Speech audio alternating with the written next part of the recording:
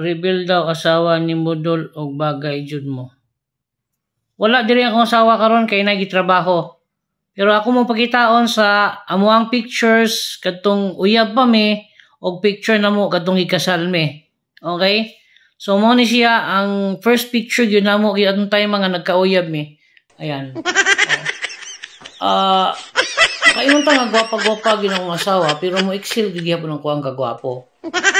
So, nagpa-picture mi ng time mga katong gisugot na ko siya kay remembrance daw nga at this moment nakauyab siya gwapo. Siya man yung request ani. So, mo ni ang first picture katong nagkauyab mi.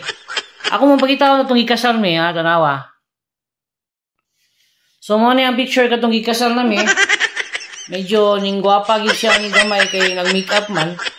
Ako uh, no makeup lang, no filter. Pero cute lang gyud gihapon. So, murag ning angat siya gamay ang sa makeup.